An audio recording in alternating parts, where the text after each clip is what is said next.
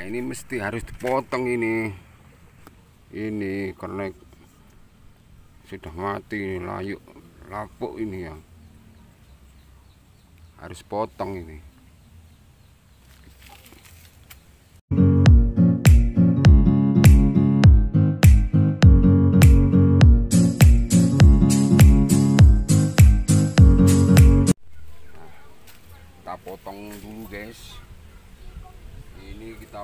dulu Assalamualaikum warahmatullahi wabarakatuh. Jumpa lagi dengan channelnya Cak Lukman. Kali ini saya ini mau mengawat ya guys ya. Mengawat bahan bonsai serut yang pertama. Oke simak terus di channelnya Cak Lukman. Assalamualaikum warahmatullahi wabarakatuh